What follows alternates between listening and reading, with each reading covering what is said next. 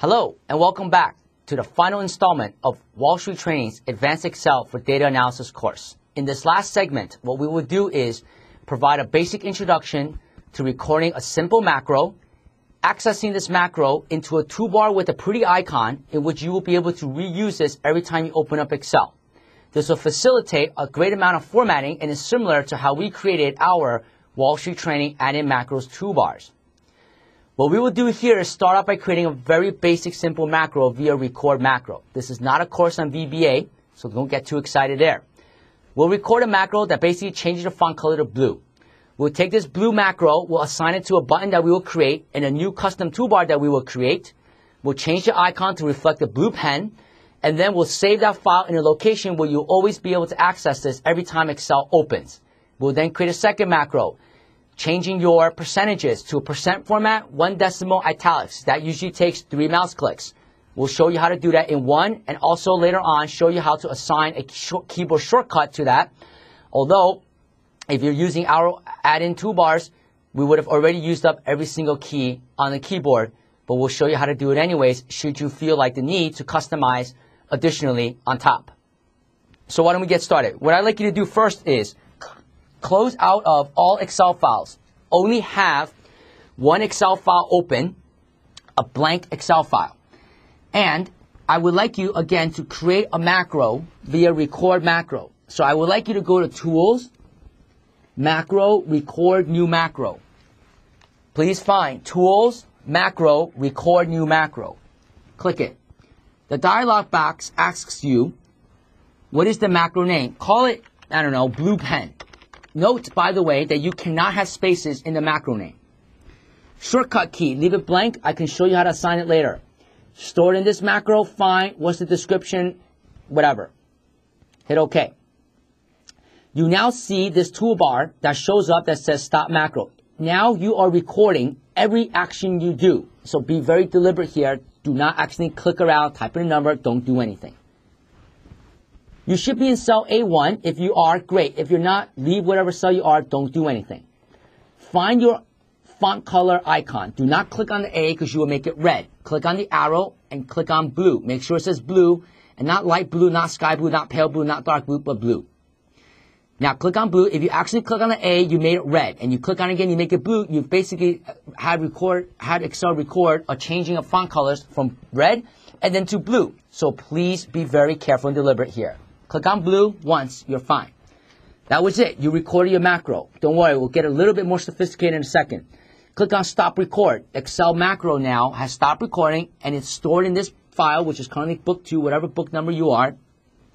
And it has that code stored somewhere.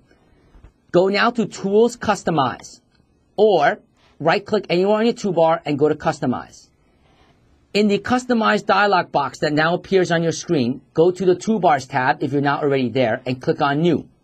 You get a new dialog box called New Toolbar, Toolbar Name. Call it Custom 1, whatever you want. You can call it My Toolbar, does not matter. I'll leave it as Custom 1 and here you know you can have spaces. Hit OK.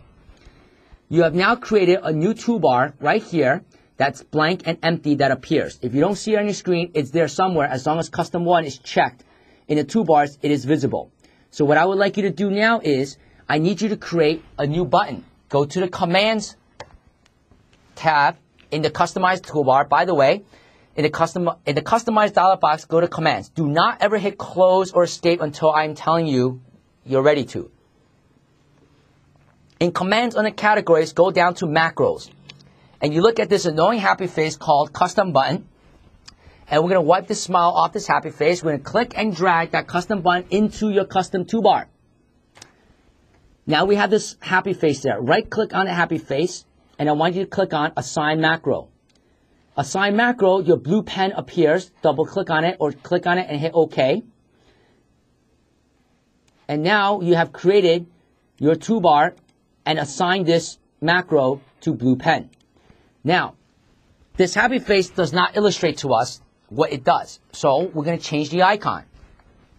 I want you to right click and go to change button image and select this pen in the middle and click on it and now it becomes a pen. So again, there's a default number of button images. Make that pen, pencil. Right click now, because we can't tell what this pen does. There's no indication it's blue. Right click on it and go to edit button image. You get the button editor dialog box, which you can edit. I will click on blue and I will make the tip of this pen a blue tip. Therefore, it will designate to us that you're going to change your font color to blue, like a crayon, or you can make the whole pen blue, up to you. I'm going to hit OK. And there's your blue tip pencil. Now, I want you to hit close because you are actually done. That's it. But we still have a couple more things to do. I want to create a new macro button, and we need to do a couple of things with this toolbar and save it in a location that Excel will always show.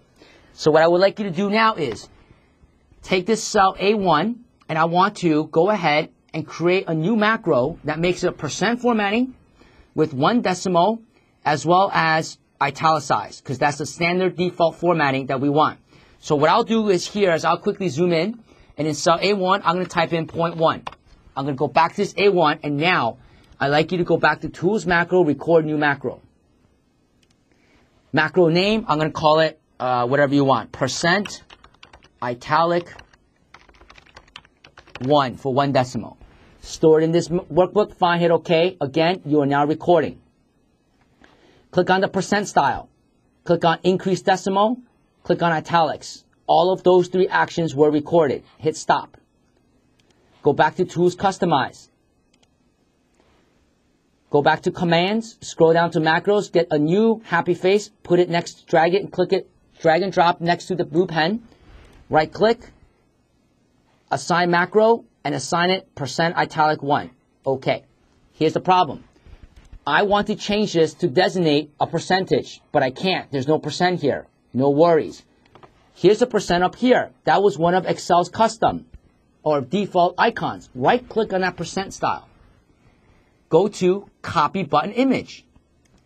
Right click on your happy face. Go to paste button image. There you go. But I want to designate that there's one decimal here. So I know it's different from Excel's. Right click